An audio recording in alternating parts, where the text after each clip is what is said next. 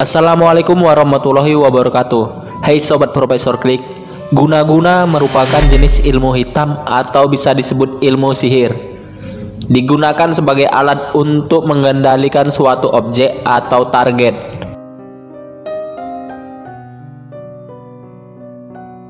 Di video kali ini kita akan membahas tentang guna-guna.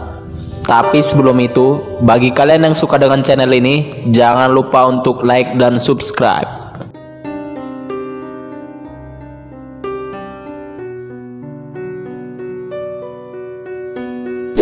Guna-guna dapat dibagi menjadi dua bagian, yaitu fisik dan non-fisik.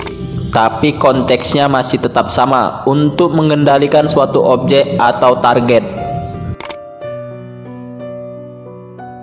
Guna-guna fisik dikategorikan untuk mencelakai atau membunuh target. Biasanya berupa penyakit ataupun suatu hal yang sulit diterima akal medis. Contoh, di dalam tubuh terdapat paku, jarum, kawat, dan pecahan kaca, dan lain-lain. Guna-guna ini bersifat menyiksa. Guna-guna non-fisik dikategorikan bersifat menundukkan. Dalam konteks ini, orang yang telah diguna-gunai akan tunduk dan patuh seperti orang yang sedang diperbudak atau dikendalikan. Biasanya terjadi karena perihal asmara ataupun keluarga. Di zaman modern ini, beberapa orang masih banyak melakukan hal semacam ini, tentunya dengan bantuan seorang dukun. Perlu diketahui, apa pun bentuk dari jenis guna-guna itu pada intinya bersifat sama. Hanya saja ritual, bahan, dan cara mengerjakannya berbeda seperti tenung, teluh, santet, termasuk guna-guna atau ilmu sihir yang pada dasarnya tujuannya sama. Namun cara mengerjakan dan pengaruhnya saja yang berbeda.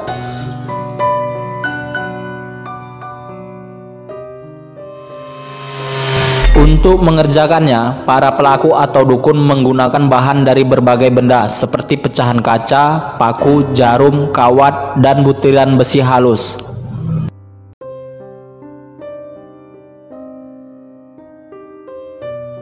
Kemudian bahan-bahan yang sudah dicampur menjadi satu akan dibacakan mantra pemanggil jin.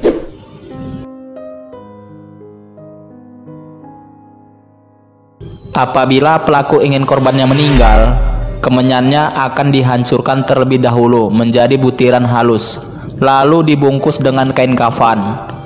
Kemudian diikat seperti mayit. Ketika permintaannya dipenuhi oleh jin atau setan yang dipujanya, Tanda-tandanya korban akan mendengar seperti suara letusan di sekitar rumahnya. Tanda itulah yang mengisyaratkan penyakit atau kematian akan datang. Biasanya, ciri-ciri korban terkena guna-guna, muntah darah, perut sakit, demam, panas tinggi, dan sebagainya, yang di mana semua itu tanpa ada sebab. Jika sudah terkena, untuk mengatasinya haruslah cepat, yaitu dengan memakan tujuh buah kurma. Lalu ambil segelas air putih, kemudian bacakan air tersebut dengan surat Al-Falaq dan An-Nas sebanyak tiga kali.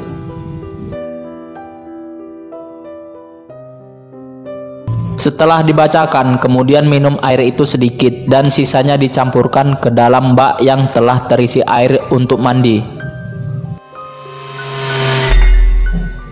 Lakukan di saat azan subuh dan maghrib secara rutin. Jika sudah dilakukan dalam sholat ataupun keseharian, perbanyaklah dengan membaca A'udzubillahi minasyaitonirrajim kemudian berzikir.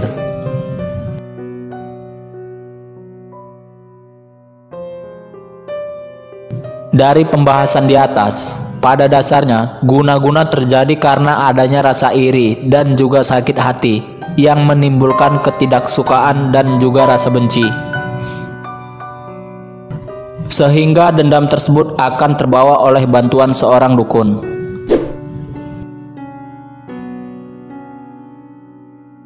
Hendaklah bagi kita untuk menjaga lisan agar tidak menyakiti perasaan orang, baik orang lain maupun kerabat dekat. Sebab tidak ada suatu akibat kalau bukan karena adanya perbuatan.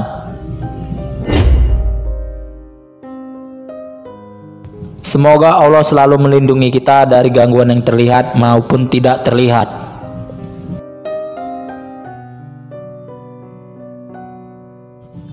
Itulah pembahasan mengenai guna-guna dari Profesor Klik. Semoga channel ini dapat bermanfaat dan menambah wawasan kita. Sekian saja video kita kali ini. Assalamualaikum warahmatullahi wabarakatuh.